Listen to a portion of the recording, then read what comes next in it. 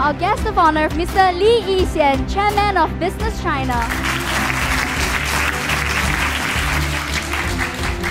学好华文华语，了解这个中华文化，啊，对你们跟中国的交往、接触、做事、啊待人是一大便利、一大优势。华文华语呢，除了呃有商业的价值之外，也是一个优美的一种文化。所以我希望呢，大家能够继续的把华文华语学好，继续的参加我们通商中国的活动。让我们有请李义贤先生为今天的擂台赛正式揭幕。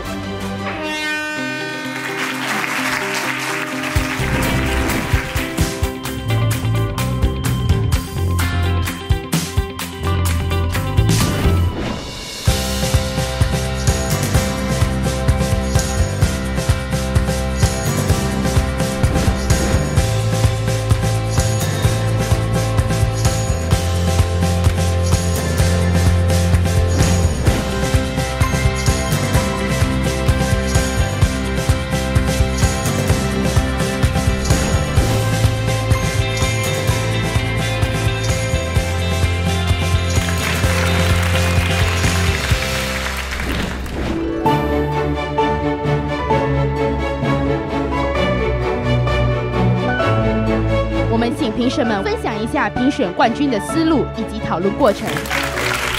I'd like to congratulate all the participants for brill- for the brilliant presentations you made. One thing which really impressed me of what you did was the concepts you brought up from IoT to blockchain or to technology to big data. Now these are the cutting edge knowledge which we are actually teaching in the university.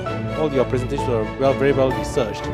But apart from this, looking at the solutions, look deeper into the issues and challenges faced uh, in Singapore as well, so that your solutions will be relevant and true to your objective. for any sort of presentation, what you want to make sure is you must be able to connect. Within the first 30 seconds, do you connect?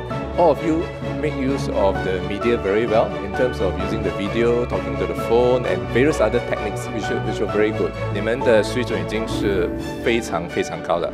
今天在场的所有的参赛者呢，其实都是我们的呃青年，都是我们国之栋梁。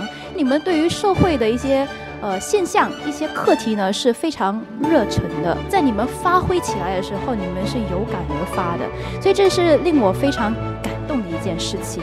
因为我们不能够只是纸上谈兵，我们必须要付诸于行动。You need to walk out talk as well。